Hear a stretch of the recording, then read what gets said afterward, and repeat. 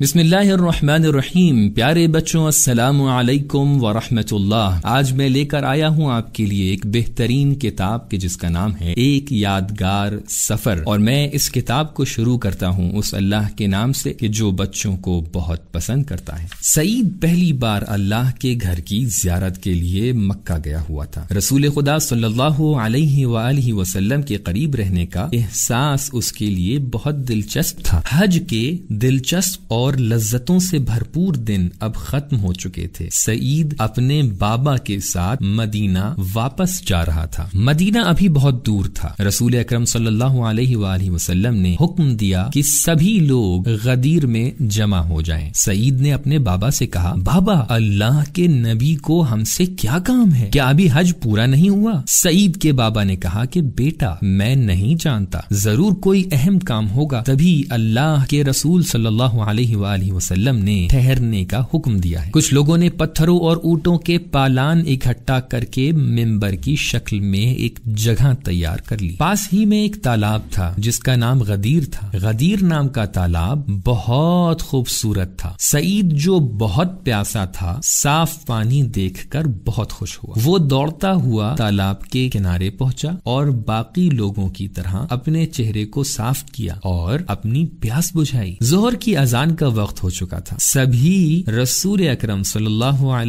वसल्लम के पीछे नमाज़ के लिए बेताब थे। सईद ये जानने के लिए बेचैन था कि रसूलुल्लाह सल्लल्लाहु अलैहि वसल्लम ने इस जगह ठहरने का हुक्म क्यों दिया है? नमाज़ के बाद अल्लाह के रसूल सल्लल्लाहु अलैहि वसल्लम मिंबर पर तशरीफ़ ले गए और एक बहुत ही अहम और महत्वपूर्ण आदेश पहुँचाने की खबर दी। वो एक शख्स का हाथ पकड़कर सबको दिखा रहे थे। सईद उस शख्स से बहुत प्यार करता था और बहुत अच्छी तरह पहचानता था। वो हसन हुसैन सलाम के बाबा थे। रसूलुल्लाह ने फरमाया, अल्लाह का फरिश्ता तीन बार मेरे पास आया और उसने खुदा का पैगाम पहुँचाया है कि इसी जगह पर तुम लोगों को बता दें कि अली अलैहिस्सलाम मेरे भाई और वारिस हैं और वो मेरे बाद तुम लोगों के इमाम इस ऐलान के बाद अल्लाह के रसूल सल्लल्लाहु अलैहि वसल्लम ने सबको हुक्म दिया कि वो हज़रत अली सलाम की बैत करें। बच्चों, यहाँ पर बैत के माना को आपको एक्सप्लेन करते चले। कि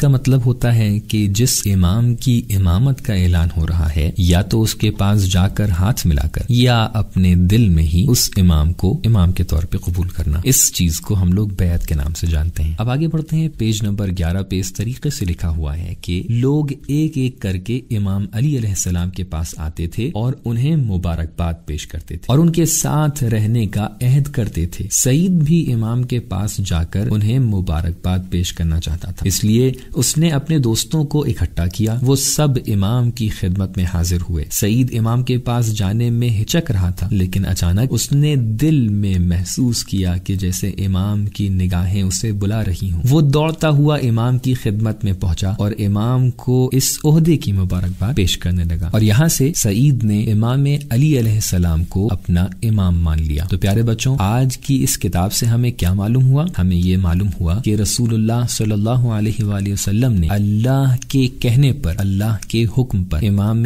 अली सलाम को हमारा मौला और हमारा इमाम बनाया है। यकीनन, जब पैगंबर किसी को हमारा मौला और हमारा इमाम कह रहे हैं और पैगंबर अल्लाह के हुक्म से इस बात को हम तक के पहुँचा रहे हैं तो हमारी पूरी ज़िम्मेदारी बनती है कि हम उस शख्स को उस जात को अपना इमाम माने। इसीलिए हम एक मुसलमान की हैसियत से, पैगंबर अकरम वसल्लम का एहतराम करने की हैसियत से, इमाम अली को पैगंबर के बाद जानशीन इमाम और अपना मौला मानते हैं। उम्मीद है आपको ये किताब पसंद आई होगी। अपने दोस्तों से इस किताब की वॉइस को शेयर करना ना भूलिएगा। इनशाला फिर एक दूसरी किताब लेकर आपके लिए हाजिर होंगे। वसलाम वरहमल वर्का खुदा हाफिज।